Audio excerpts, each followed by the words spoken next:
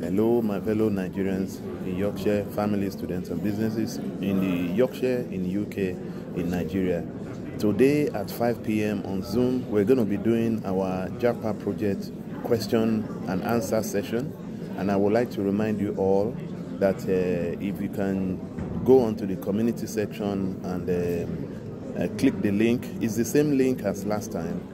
Join us if you have any questions uh, moving to the UK, uh, conditions in UK, please join us at 5 p.m. I will be there by 5 p.m. today to join you. So, and this is to help our Nigerian family, single students that are about to move to the UK, that are about to move to Yorkshire. We can give you directions, we can give you some advice, some steps to take, some do's and don'ts. Again, this is to help support uh, you that are just about to embark on that very important journey, which we have saved money for, which we have money to, you know, some people sell their house, which is not advisable, but we always tell people, please, make sure you do the right thing. The, uh, as I've said in my last JAPA, the international recruitment for healthcare and social care has now been put on the red list, has now been stopped.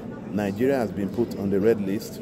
Uh, this is due to World Organization saying that uh, they don't want countries like UK, America, Canada to be pulling all the health and workforce of uh, other countries. So, you know, what that means is that there is a situation where there is an imbalance.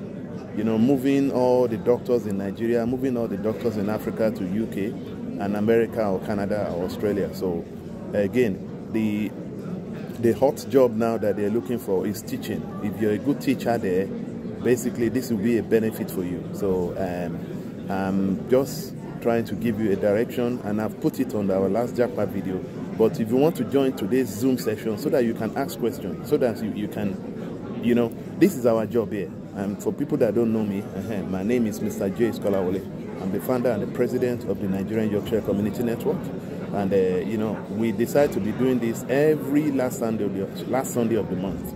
And today is another day. I want people to put it on their calendar every last Sunday of the month at 5 p.m. on Zoom. The link is the same link. You have to join. So I'll be waiting for you 5 p.m. today to join us. Okay? So uh, I look forward to see you.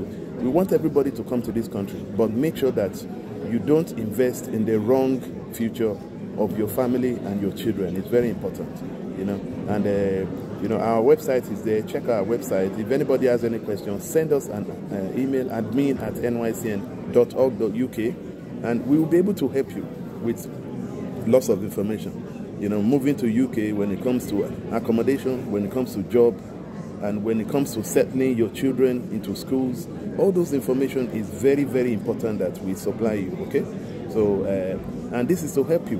As we said, you know, the JAPA project, a lot of Nigerians are traveling to UK without notice, without lack of preparation, lack of financial preparation, which is not suitable for them and their family. Some people will even sell their house. We, we, we do not advise you to sell your house, but we want you to, if you want to leave Nigeria, please leave it in a way that you don't get to another country, you'll be suffering.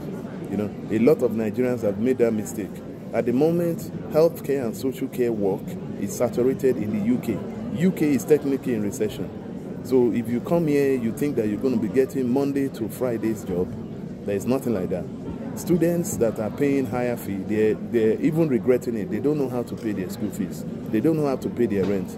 This is why our organization is helping with food share, free food parcel, and etc.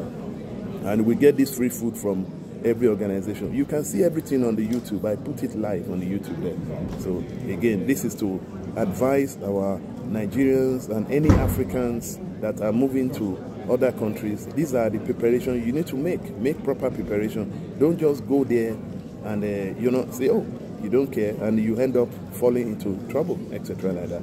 Make sure that okay, people that are recruiting for healthcare, there is no job anymore for healthcare in the UK. It's saturated. The hot job now is teaching. So if you're living in Nigeria or anywhere in Africa, you want to come to UK. If you have a teaching profession, profession, to be honest with you, even the UK government will help you with ten thousand pounds for your expenses and moving your, yourself and your family. So these are the hot cake. But you know, we'll continue to provide you with all those informations so that you can know the right path, the right decisions to make for yourself and your family. Please don't send me WhatsApp. I will not respond. I will not respond. Send me an email.